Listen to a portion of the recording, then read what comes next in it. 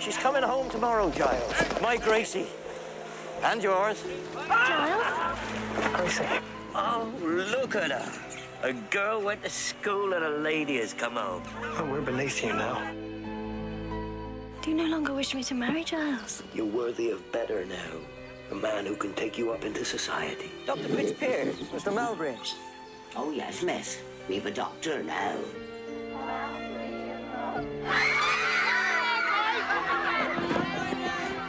There is a time for a woman to change her mind and a time for her to stick to it. I do not wish to marry him. Damn me, girl, but you shame me and break me!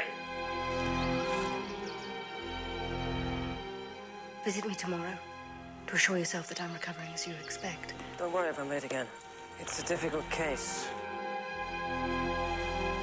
I thought it was only a game to you. You love him. Father, you tell me what to do. You have always chosen what I do. You needed help. You came to me. I'm glad. I'm afraid. What if something were to happen and it's too late? Too late for me to tell you what's in my heart.